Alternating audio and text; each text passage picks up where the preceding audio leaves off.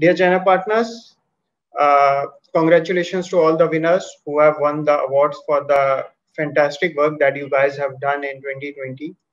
Now, looking back, the year was very difficult for all of us, but we could see some of the resilience that you guys showed has resulted into something extraordinary.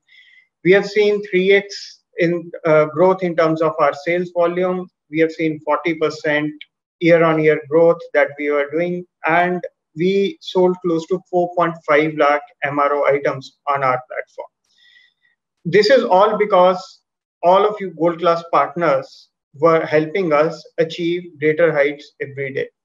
So how could we do that? How could we drive this excellence that we are trying to do in our digital world today?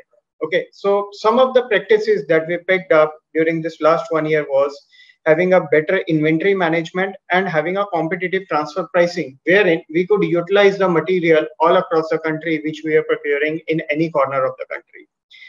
Next was having a better ep terms with all our gold class suppliers. We standardized our payment terms to the suppliers, giving them the advantage of better credit facilities that we are getting and as well as giving them the liquidity options that are available to us.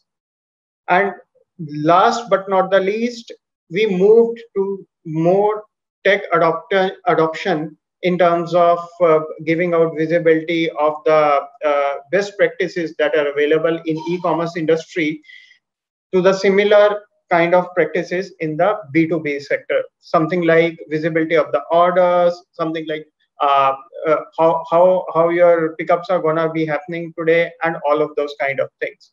So these activities helped us scale the real growth in last one year wherein the situation was really bad and we were staring at a loss of uh, i would say businesses at multiple front but you guys helped us grow stupendously so going further how do we see the transformation of this supplier collaboration that we are having with you uh, what all things that we want to grow further okay? So first is we want to drive the digital mode further to give you more growth options.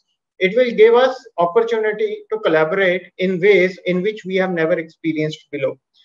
So the way to go forward is more about how we bring in more visibility we bring in more demand forecasting we bring in more accuracy of results in terms of our procurement models to you. And that will result into zero stockouts and giving the best in kind solution to our customers. So we want all of you to join in this digital revolution that we are trying to bring in in these tough times so that we can create a super uh, I, I, would say a, a very fast paced network for development of manufacturing industry in india. Thank you from my side